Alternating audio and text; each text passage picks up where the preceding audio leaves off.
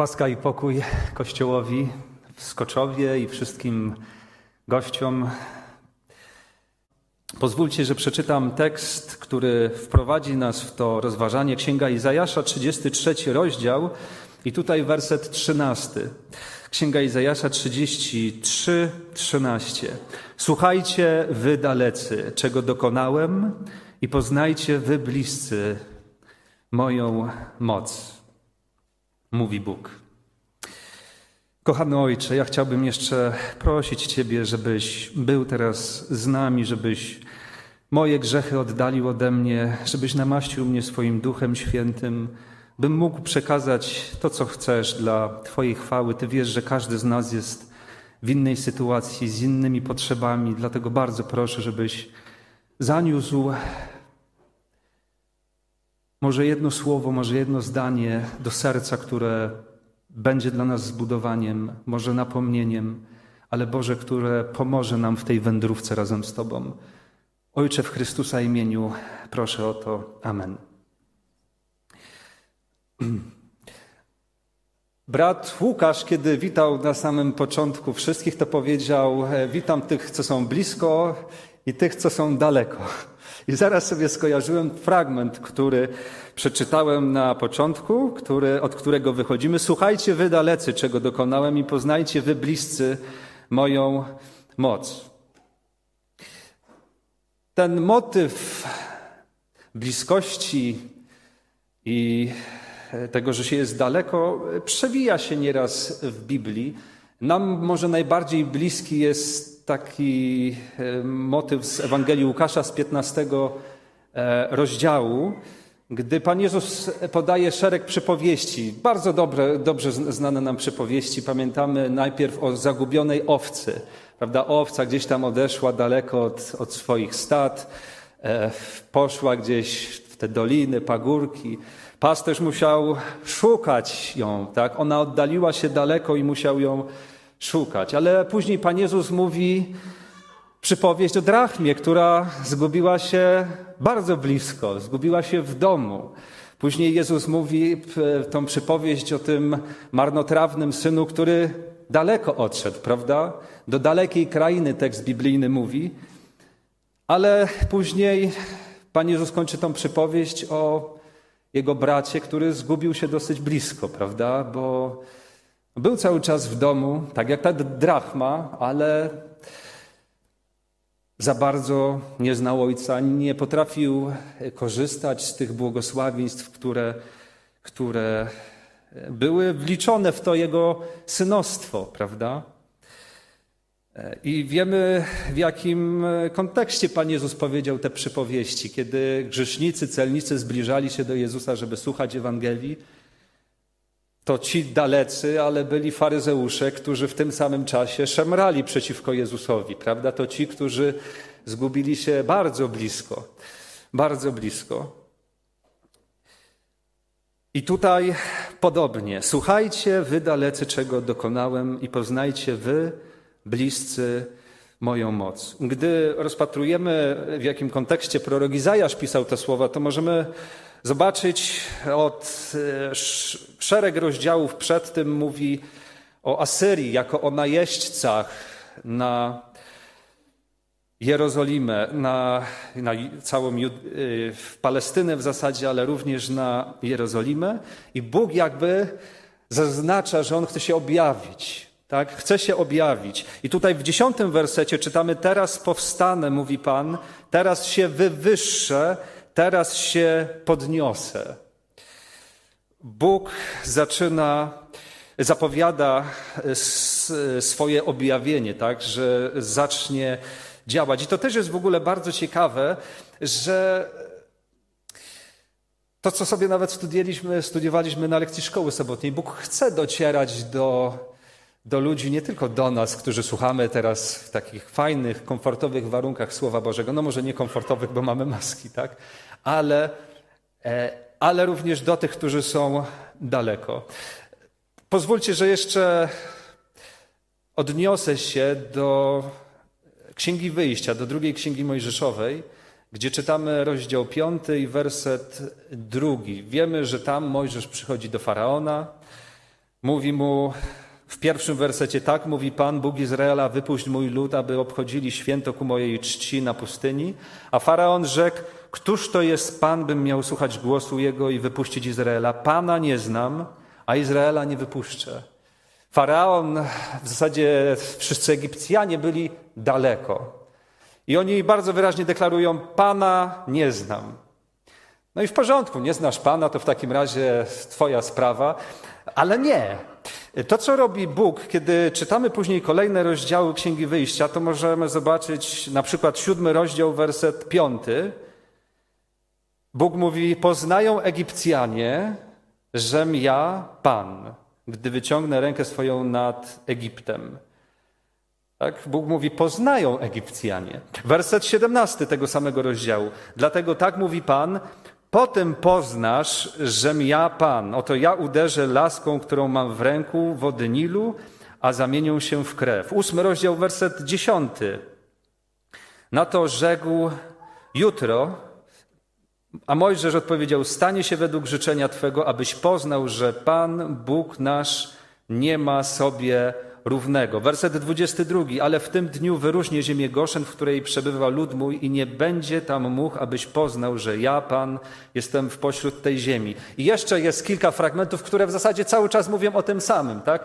E, Faraon na samym początku zadeklarował, ja nie znam Boga, nie będę mu posłuszny i tak dalej. Więc Bóg mówi, no dobra, to ja teraz zaczynam działać, żebyś mnie poznał. Żebyś mnie poznał. Oczywiście wiemy, że to nie sprawiło, że niestety że faraon nagle został, był posłuszny Bogu, ale Bóg dał szansę. On mówi: Boga nie znam, to Bóg mówi: To ja sprawię, że mnie poznasz. I to jest piękne, że Bóg nie zostawia człowieka, który jest daleko, w jakiś taki sposób, dobra, rad sobie sam. I myślę, że gdy myślimy o swoim własnym życiu i o tym może kiedy żyliśmy daleko od Boga, od społeczności e, z Nim, z Kościołem, to być może nieraz przychodzą nam, Wam takie myśli, gdy, gdy widzicie takie Boże interwencje, być może czasem drobne w swoim życiu. Nie wiem, być może to ktoś, gdy chodził do szkoły, e, obudził się i przypomniał sobie, że dzisiaj sprawdzian i że się nie zdążył nauczyć. Tak? i woła do Boga, Boże, pomóż jakoś, spraw, żeby wiem, pani zachorowała albo coś takiego, tak? Przychodzi do szkoły i o, nie ma lekcji, pani chora. E, pamiętam u mnie, było tak kilka razy, ale właśnie Bóg przez takie czasami drobiazgi pokazuje, ja jestem, tak? Jestem, ja jestem zainteresowany Tobą. I na początku to są, wiecie, takie być może bardzo proste, proste e, rzeczy. Pamiętam e, też inną taką sytuację w moim, w moim życiu, gdy e, moja schorowana babcia, która mieszkała gdzieś na wsi, została, została jakby wprowadziła się do nas i budzę się, budzę się w nocy, a w zasadzie budzi mnie taki głos. Taki bardzo spokojny, cichy, ale bardzo wyraźny. Babcia umarła. Ale wiecie, z tym głosem przychodzi taki pokój, że dla mnie to, to nie jest taka informacja wstrząsająca. Mama budzi mnie rano i mówi, e, babcia umarła w nocy. A ja, a ja odpowiedziałem mamie, wiem. Wiecie, i to są takie właśnie takie szczegóły, gdzie Bóg czasami stara się e, pokazać, ja jestem, ja czuwam, ja, ja kocham i pragnę, e, pragnę prowadzić Cię przez to życie. Może jeszcze takie jedno. E, e, mimo, że mogę tak powiedzieć, że byłem daleko od Boga, to pamiętam, że mimo wszystko rodzice tak nas uczyli, żeby jak ktoś prosi o chleb, to żeby nigdy nie odmawiać. Mieszkaliśmy w Częstochowie na takim dosyć dużym osiedlu i pamiętam jako, jak miałem tam 12-13 lat, to był taki okres, że bardzo często przychodzili do nas E, bezdomni, którzy właśnie prosili o chleb, o, o czasami wodę. E, I zawsze odwiedza, e, jakby zawsze im otwierałem, zawsze ich częstowaliśmy. I w pewnym momencie tak to się nasiliło, że się zaczęliśmy zastanawiać tam w gronie rodzinnym, czy oni się jakoś umawiają, bo sąsiedzi różnie na to patrzyli. Ale też pamiętam pewnego wieczora zimowego, e, od, e, znowu dzwonek do drzwi. I wiecie, jak zwykle od e, tych osób e, nieprzyjemnie pachniało. Byli ubrani tak, jak byli ubrani. Zachowywali się też, jak się zachowywali.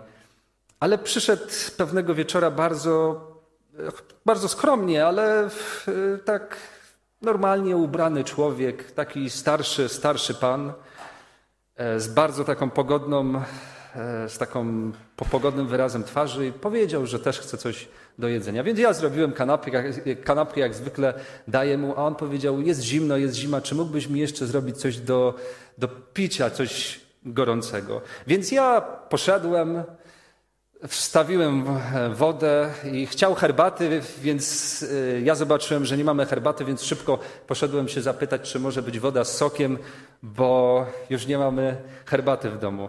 Jego już nie było. To wiecie, to szybko wybiegłem tam na klatkę, patrzę, nie ma go.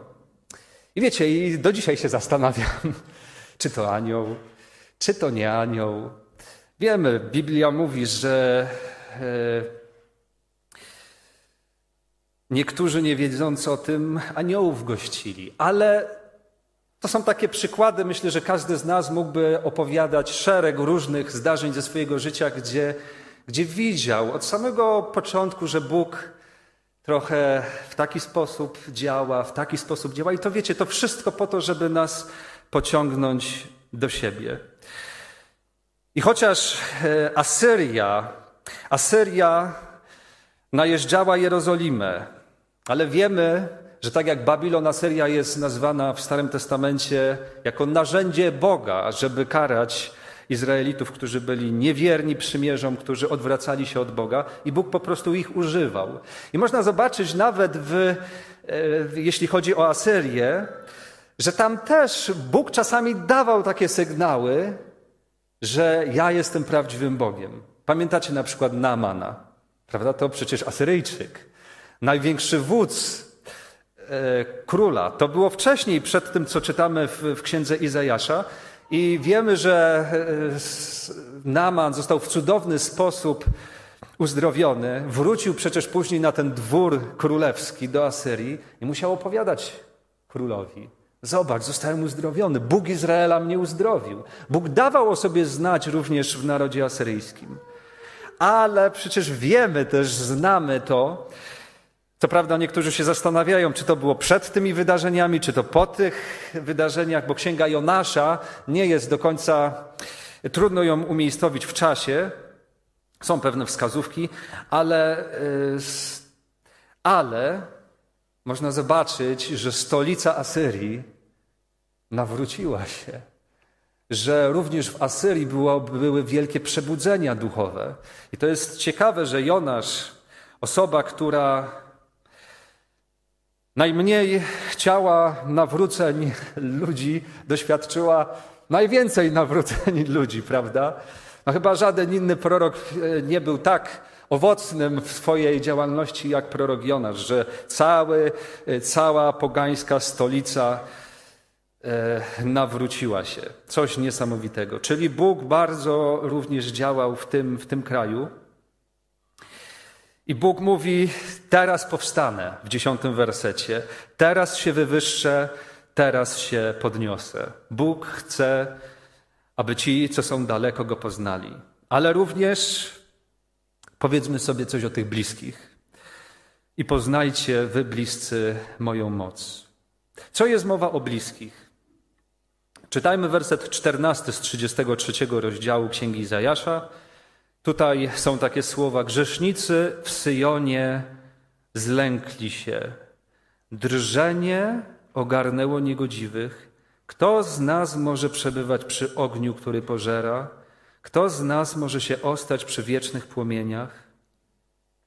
To jest bardzo ciekawe, bo jest powiedziane grzesznicy w Asyrii. Nie, jest powiedziane grzesznicy w Syjonie zlękli się. Czyli ci, co byli bardzo blisko.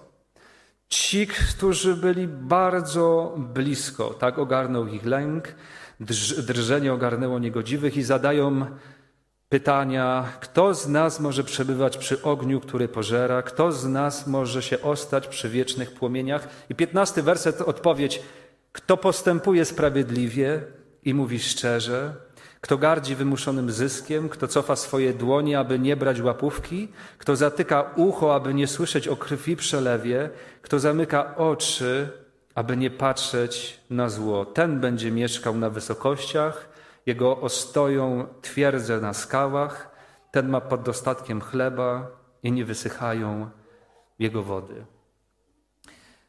W tamtych czasach również ci, którzy są blisko, tak jak za czasów Pana Jezusa, w pewien sposób się pogubili, prawda? W pewien sposób się pogubili. I prorok Izajasz, ale nie tylko prorok Izajasz, prorok Amos również, e, to jakby czym e, oskarżał tych, którzy są blisko. To już w pierwszym rozdziale, w rozdziale możemy czytać, werset jedenasty. E, to są mocne słowa. I, i, I dalsze. Co mi po mnóstwie waszych krwawych ofiar, mówi Pan, jestem syty całopaleń baranów i tłuszczu karmnych cieląt, a krwi byków i jagniąt i kozów nie pragnę. Gdy przychodzicie, aby zjawić się przed moim obliczem, któż tego żądał od was, abyście wydeptywali moje dziedzińce? To jest w ogóle bardzo ciekawe pytanie. No przecież Bóg, prawda? Przecież Bóg kazał. Nie składajcie już ofiary daremnej, kadzenie, nowie i sabaty mi obrzydły, zwoływanie uroczystych zebrań i nie mogę ścierpieć świąt i uroczystości. Waszych nowiów i świąt nienawidzi moja dusza, stały mi się ciężarem, zmęczyłem się, znosząc je. I może jeszcze dalsze. A gdy wyciągacie swoje ręce, zakrywam moje oczy przed wami. Choćbyście pomnożyli wasze modlitwy, nie wysłucham was, bo na waszych rękach pełno krwi. I to jest bardzo ciekawe, bo w zasadzie e, to też przewija się przez mnóstwo tekstów Starego Testamentu. E, jaki był problem? Tak? Oni odprawiali kult, ale jakby oddzielali to od swojej moralności na, na co dzień, prawda? I w zasadzie, jak sobie przypominamy pierwsze rozdziały w Biblii, Księgę Rodzaju, e, dwóch braci, Abla i Kaina, to również można zobaczyć ten problem, że Kain przecież składał ofiarę Bogu, prawda? On składał ofiarę, on był zaangażowany w kult. My dzisiaj nieraz mówimy, że no ale to nie była ofiara z baranka, tak jak to złożył Abel, i dlatego Bóg odrzucił jego, jego ofiarę. Ale w zasadzie no, wiemy, że Bóg nie tylko kazał składać ofiary z baranków, e, ze zwierząt, ale w Starym Testamencie również czytamy, że jak najbardziej przez Boga były akceptowane ofiary e, z płodów. I gdy czytamy czwarty rozdział pierwszej Mojżeszowej, to Bóg tam no, ciekawą rzecz mówi do Kaina. Szósty werset. I rzekł Pan do Kaina, czemu się gniewasz i czemu zasępiło się Twoje oblicze? Wszak byłoby pogodne, gdybyś czynił dobrze. A jeśli nie będziesz czynił dobrze, u drzwi czyha grzech. Jakby Bóg nie wyrzuca mu z tego, że on złą ofiarę złożył, prawda?